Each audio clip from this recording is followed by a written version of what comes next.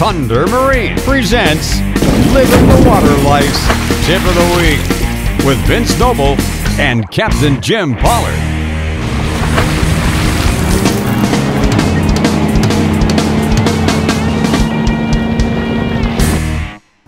This week's tip of the week is going to be about shark rigs. Now, is it easy to go to the store and buy a pre-made rig? Absolutely. But you're to end up spending $5, $7, $8, depending on the size hook and the size cable, potentially up to $10 per rig. But I'm to show you a quick, fast way to make a shark rig the way I've been doing it since I was a kid. You know, sharks are my passion and what I love to do here in Tampa Bay um, for under $2. So for less than $2, you'll have a shark rig ready to rock in less than two minutes. So you do the math, I think that's the way to go. Two minutes, $2, all day long. All right, so the, th the items that I use is basically three basic things. I use a swivel. These swivels I use are uh, can uh, go up to about 411 pounds of pressure. Are we gonna put 411 pounds of pressure on a fish? No, we can't do that but the swivel can withstand that. So these are the swivels that I use, 411 pounds. They're uh, about five five swivels per pack, and then I use stainless steel leader wire. Uh, they say it's toothproof. I don't think anything's toothproof, but this is what I use, and this works very well for me. It's 30 foot, 325 pound uh, brown. Basically, it's piano wire and then I use a 9 aught circle hook that I get from Fisherman's Ideal Supply House. And circle hooks, I use on everything. I use circle hooks on absolutely every fish that I target. Um, it's just what I do. I think it's a great thing. It really helps the longevity of fish, keeps it out of their gut uh, most of the time. So it's in that corner of the mouth. So my steel, I cut it about off that 30, 30 foot roll, I cut roughly two and a half, three foot. So what I'm gonna do is I got my leader cut, I got my hook right here, my wire snips, and a swivel. And what we're gonna do is we're gonna set a timer. See if we can do this less than 10 minutes. 10 minutes, two minutes, sorry. And so we're gonna get started on this. Let's see here. All right, timer's going. So I bend about two inches in, two and a half roughly, slide the swivel on. So I grab that bend right there.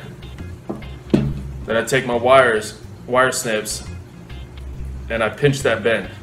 So I'm sitting here. And then the tag in, just force it and start the twist.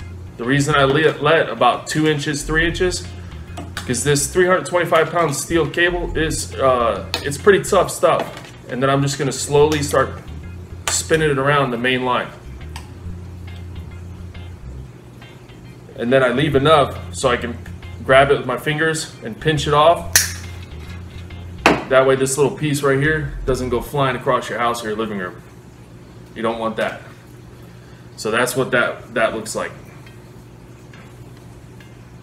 Nice tight swivel, nice tight coils, and repeat the same process on the other end with the circle hook.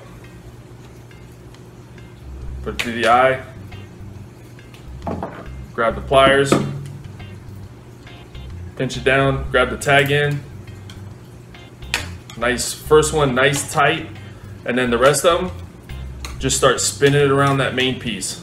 Get a good twist on it, lay the, each twist right next to the, the previous one. Get around it six, seven, eight times, whatever you feel comfortable with. And then the tag, put it through, hold that tag, pinch it off. One minute and 43 seconds, we have a shark rig ready to go. There's your circle hook. There's your swivel. Now another thing I do is I end up using somewhere something between 125 pound to 150 pound mono. Uh, I refer to this as the bite tippet because this is the part that's on the business end of the shark.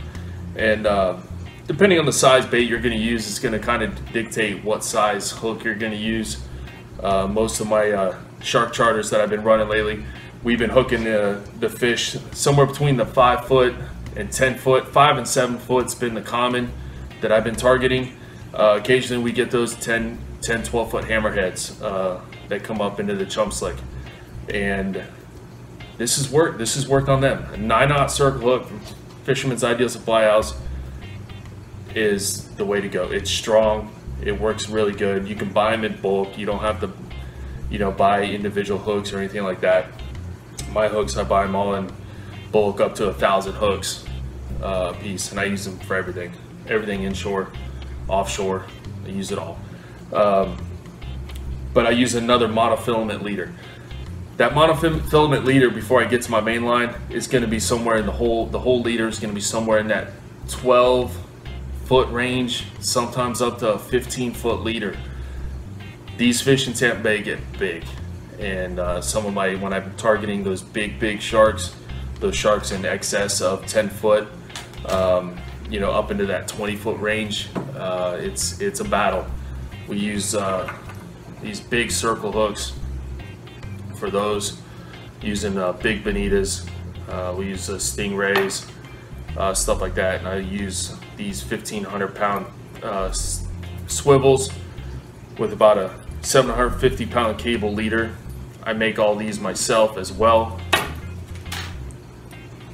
And this is a little bit different style, a little bit more involved with that. It's actually a cable, it's not a piano wire. Um, so what we'll do is on the next, the next tip, we'll get more involved with this stuff here. But with these hooks and these rigs, I found they are extremely fast, efficient way. Each rig, depending on where the shark bites it and uh, bites that bait and pulls it out, and when you go to set set that hook and bury it in the corner of his mouth, if that shark's got it all the way down to here, when you do that, obviously you're pulling the bait away uh, from him as he's swimming away and you'll get a kink in the wire. Um, I usually swap it out. You know, after I get one fish on one leader, I swap it out. Can you kind of push it back, bend it back, and try to make it straight again? You can, um, but I always do a fresh leader when I'm dealing with my sharks, and I go for a perfect leader every single time. I don't reuse them, but I'll take I'll take the hardware off. I'll snip the hook off, snip the swivel off, and tie some more rigs and be right at it. So this is, in my opinion, the way to go. Build your own rigs. It's cost effective. It's not. It's not hard to do. It's really not. Just give it a shot and go catch that big one. This has been your tip of the week, sponsored by Custom Rodz, Sea School, Big Daddy Sports Fishing, Pirate Johnny's, Sunsect, and the CCA. We'll see you next time.